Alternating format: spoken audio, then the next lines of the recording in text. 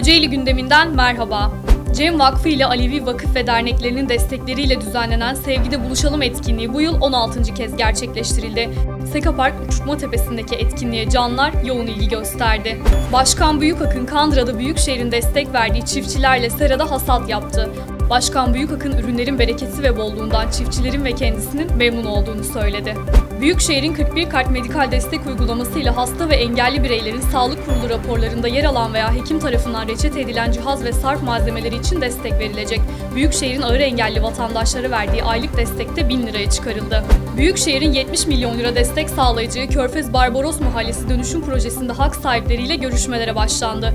534 konuttan oluşan proje hayata geçtiğinde Barbaros sakinleri için huzur ve mutluluk dolu yeni bir yaşam başlayacak. Kentin pek çok önemli noktasını yeni parklar ve sosyal alanlarla donatan Büyükşehir, Dilovası'nda Adnan Kahveci ve Eynerce'nin ardından Tavşancıl Sahil Parkı'nı da yeniledi.